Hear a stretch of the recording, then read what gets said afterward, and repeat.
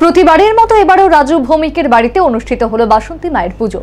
মেয়ে টিয়ার জন্মের পর থেকেই এই পুজো করে আসছেন তিনি। আগামীতেও এই পুজো তাদের বাড়িতে বহাল থাকবে বলে জানালেন তিনি।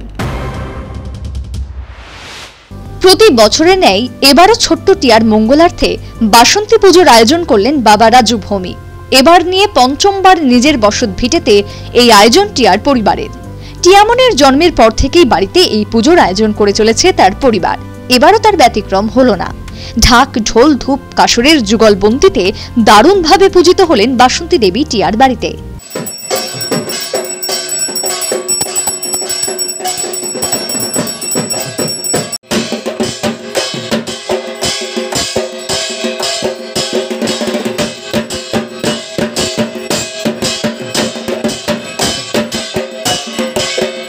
পুজোর আয়োজন নিয়ে টিয়ার বাবা রাজু ভৌমিক বললেন টিয়ার মঙ্গল তথা পরিবারের কল্যাণার্থে বরাবরের মতো এই আয়োজন পূজার।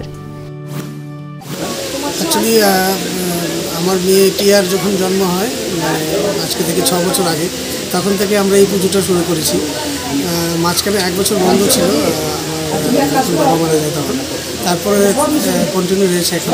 প্রতি বছর আমরা অপেক্ষা করি কবে চৈত্র মাস হবে। যদিও এই বছর বৈশাখ মাসে আমাদের পুজোটা হয়েছে।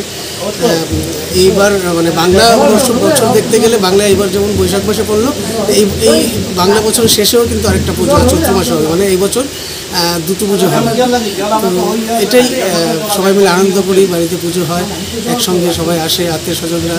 তো টিয়ার নামেই পুজোটা থাকে, সম্পর্ক বর্তমানে আমিই করি, কিন্তু বড় হয়ে টিয়া এই পুজোটা চালু করে রাখবে এটাই আমার আশা। কত বছর?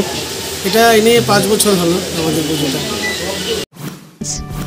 করোনা বিধি মেনে রাজু ভৌমিকের বাড়িতে অনুষ্ঠিত হলো বাসন্তী মায়ের পুজো। Bureau report news vanguard.